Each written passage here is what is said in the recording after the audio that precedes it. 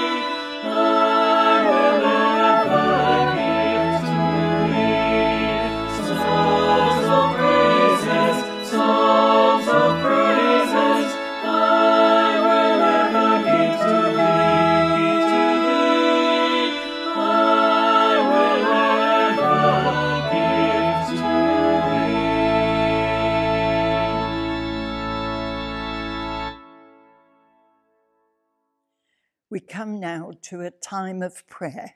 Let us pray.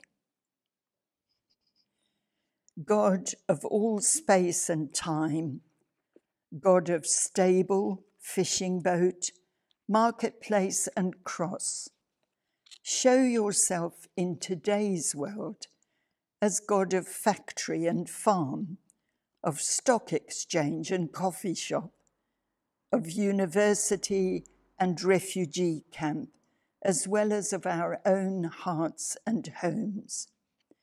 May all our journeys be pilgrimages, and when we reach a goal, may it be the starting point of positive change and another way of life. Lord our God, help us to give our minds to you in our worship so that we may listen really listen to what you have to say to us and know your will. Help us to give our hearts to you in our worship so that we may really want to do what you require of us. Help us to give our strength to you in our worship so that through us your will may be done. O oh God, we thank you for this earth, for the wide sky and the blessed sun, for the salt sea and the running water, for the everlasting hills and the never resting winds, for trees and the common grass underfoot.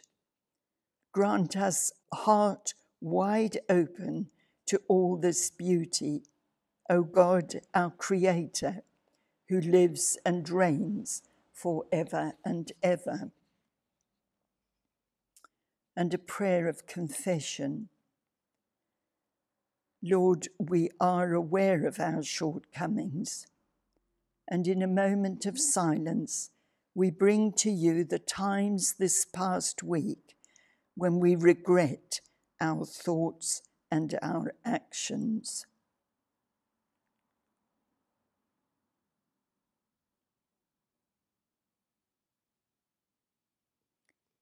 O God our Father, direct and control every part of our life, our tongues that we speak no false words, our actions that we do nothing to shame ourselves or hurt others, our minds that we think no evil or bitter thoughts, our hearts that they may be set only on pleasing you. Through Christ our Lord. Amen. And we join together in the version of the Lord's Prayer, which is generally used in this church. Our Father in heaven, hallowed be your name. Your kingdom come. Your will be done on earth as in heaven. Give us today our daily bread. Forgive us our sins as we forgive those who sin against us. Lead us not into temptation, but deliver us from evil. For the kingdom, the power, and the glory are yours, now and forever. Amen. Summer is here and our thoughts possibly turn towards holidays, which of necessity usually involve a journey. So, if you're going on a journey, what would you take with you? I suppose it depends where you're going, for how long, and what sort of holiday it is. For instance, you would need different things for climbing mountains or being by the sea, or visiting relatives. But in general, you would need clothes, toiletries, credit card and money, your passport and tickets, your phone, of course, something to read or do. And if you're a certain age, you make sure you have an adequate supply of medication. A journey usually has a definite end. You know where you're going and a reason for doing it. You usually have plans for its execution. A pilgrimage is a different sort of journey, usually to a shrine or other holy place. So there is a spiritual element. And there's the journey of life, which we all take. When I looked in the dictionary, as is my custom, I was interested to note that the definition of pilgr- pilgrimage was the journey of life. Food for thought there, that this too, our journey of life, has a spiritual element. Recently, I saw the film called The Unlikely Pilgrimage of Harold Fry. He went on a journey, but as the title suggests, a most unlikely one. One morning, at his home in South Devon, he receives a letter from a former colleague with whom he'd worked many years before informing him that she was now in a hospice in Berwick on Tweed and not expected to live very long. He replies by letter, but as he posts it, on impulse, he decides he'll visit her and that somehow she will not die until he arrives. So he sets off there and then to walk the 500 odd miles from South Devon to Berwick on Tweed. No proper plan, no luggage, just what he's wearing. An unlikely scenario indeed. It transpires that he does have a credit card and some money, and we'll think more about this later. But for now, we will hear from the Word of God about a journey. I'm reading from Genesis 12, 1 to 9. The Lord had said to Abram, Leave your country, your people, and your father's household, and go to the land I will show you. I will make you into a great nation, and I will bless you, and I will make your name great, and you will be a blessing. I will bless those who bless you and whoever curses you, I will curse. And all peoples on earth will be blessed through you. So Abram left, as the Lord had told him, and Lot went with him. Abram was seventy five years old when he set out from Haran. He took his wife, Sarah, and his nephew, Lot all the possessions they had accumulated and the people they had acquired in Haran. And they set out for the land of Canaan, and they arrived there. Abram travelled through the land as far as the site of the great tree of Moreh at Shechem. At that time, the Canaanites were in the land. The Lord appeared to Abram and said, To your offspring I will give this land. So he built an altar there to the Lord who had appeared to him. From there he went on towards the hills east of Bethel and pitched his tent, with Bethel on the west and Ai on the east. There he built an altar to the Lord and called on the name of the Lord. Then Abram set out and continued towards the Negev. Thanks be to God. And now we sing a hymn about travelling, singing the Faith 476 One more step along the world I go. One more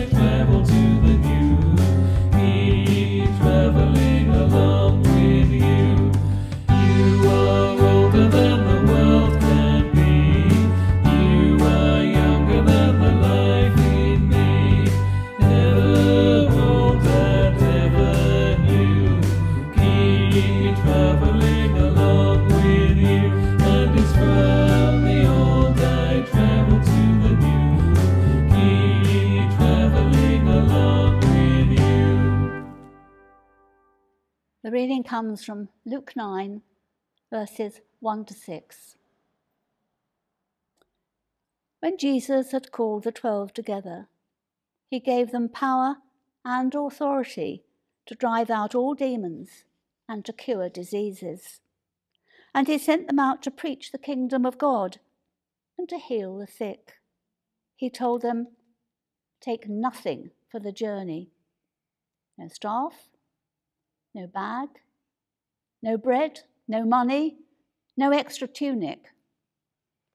Whatever house you enter, stay there until you leave that town. If the people do not welcome you, shake the dust off your feet when you leave their town as a testimony against them. So they set out and went from village to village, preaching the gospel and healing people everywhere. Thanks be to God. Contrast the journey of Abram with the fictional story of Harold Fry that I mentioned. Harold's journey was in answer to a letter, Abram's, a call from God. Harold's was spontaneous, spur of the moment. Abram's was actually split into two parts. You may have noticed that the reading began, the Lord had told Abram to leave his country. And apparently he hadn't done that, so this was a second call.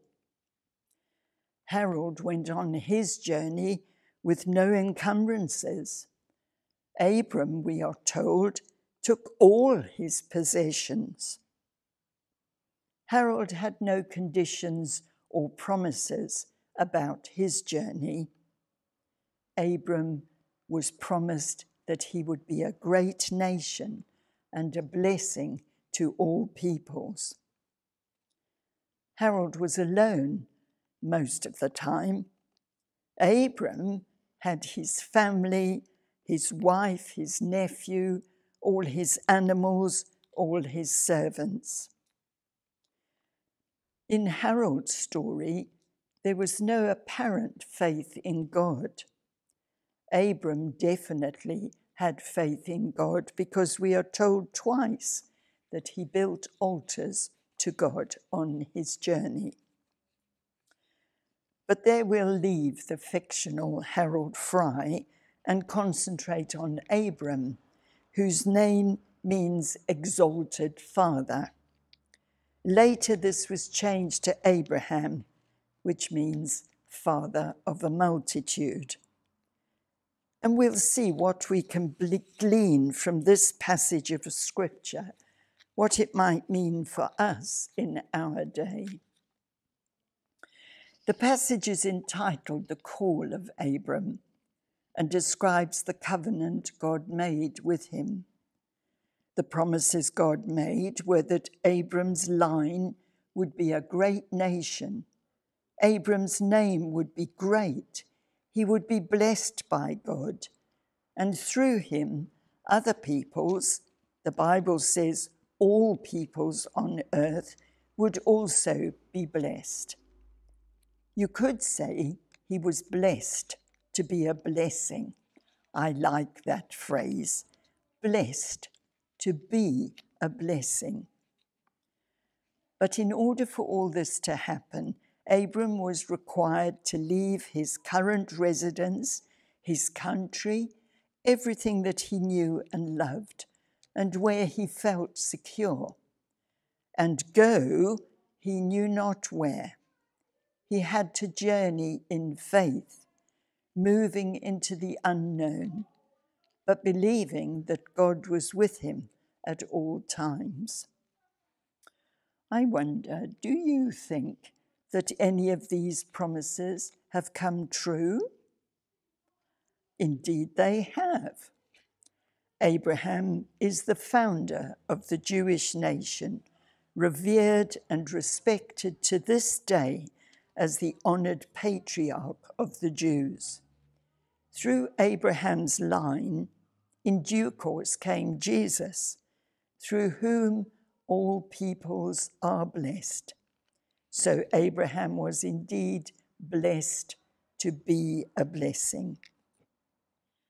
Running like a golden thread throughout the whole long story of Abraham is his faith in God's promises.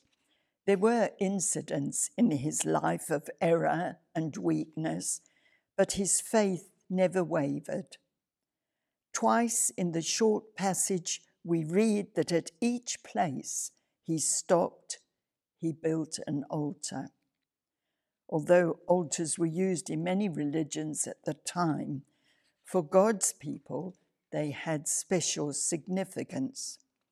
They were used for sacrifice, symbolizing communion with God, and commemorated encounters with Him, and often lasted for many years as reminders of God's promises and protection. Building altars probably reminded Abraham of God's promises and helped to keep God at the center of his life. So, too, for us. Regular worship helps to remind us of God's ways and motivates us to follow Jesus' example. The instructions in Luke's Gospel of Jesus to the twelve were pretty explicit no stick, no bread, no money. By travelling light, they could travel quickly, and with no material items, they had to depend on God's power and provision for them. At that time, it would also show them that the Messiah had not come to offer wealth to his followers. A staff, a bag, a coat were recognizable uniform, as it were, of many wandering philosophers who would accept reward in return for their wisdom. Jesus' good news via the apostles was to be given freely. Earlier, we touched on pilgrimage as a journey to a shrine or holy place. Many people have undertaken the long walk to Santiago Compostela. There have been TV programs about it and other such pilgrimages, often over the Easter period. And near to us is the town of Glastonbury, which you could say is a place of pilgrimage with its ancient ruined abbey and the little church on the Tor. Recently, here in Wells, we hosted a group of people following the Tolpuddle Martyrs pilgrimage, walking from the new room in Bristol to the village of Tolpuddle in Dorset visiting several Methodist chapels on the way. Those martyrs, some of them Methodists, were six agricultural workers in the early 18th century who dared to challenge their employers in relation to a living wage. This action is looked upon now as the beginning of one of the first trades unions but it earned seven years' transportation for those men. But they have been remembered over the centuries since it happened. So, journeys. We've thought a little about Abraham's long journey and his complete faith in God. We've smiled at the unlikely pilgrimage of Harold Fry We've puzzled over Jesus' instructions to his disciples as they journeyed from village to village with the good news of the gospel. We've touched on accounts of pilgrimage. But what of the pilgrimage of our life, our journey from birth to death? What of this day's service will stay with us to help us on that journey? Perhaps thinking about Abraham's faith may reinforce our own. Maybe Jesus' instructions to his disciples will help us to depend more on God and hold the things of this world lightly. If we can't actually go on pilgrimage, we can still visit holy places, especially our own church, wherever that may be, week by week. So, as we continue on life's journey, may it be in the full knowledge that God is with us every step of the way. And may the spoken word and the written word lead us to the living word this day and always. Amen. Carrying on the theme of journeys, we bring to God the needs of the world. Let us pray. Our Father God, we are constantly shocked at the news we see daily on our TV screens and in our newspapers. So now we think of victims of war, famine, and drought, people displaced from their homes, existing in refugee camps.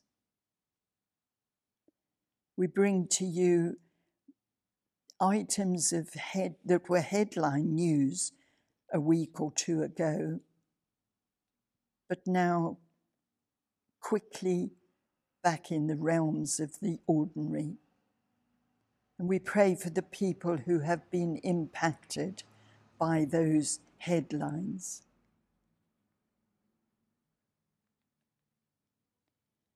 We who are so privileged to have running water in our homes pray for people, usually women, who have to walk many miles each day to obtain enough water for their families' needs. And we commend agencies like WaterAid. We think of the worldwide church and how the gospel has been spread to all lands over the centuries. We pray for mission partners who, like Abraham, leave home and country to work in far flung places.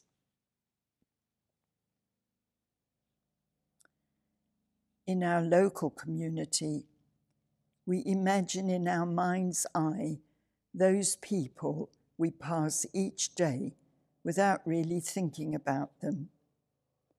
So we pray for long distance lorry drivers away from their homes for days to bring fresh produce to supermarkets so that we might have food on our tables.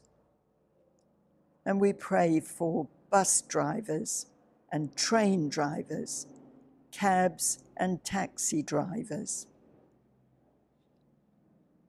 And we commend to you people we know who are on holiday at this time.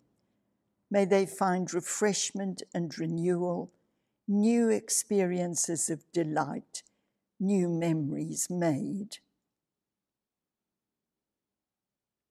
And finally, Lord, we pray for ourselves that this time of worship may be for us a time of refreshment and renewal. Continue with us through this journey of life, loving God. Accept all the prayers offered, both spoken and unspoken, because we bring them all through the name of Jesus. Amen. And we sing our final hymn. We are marching in the light of God.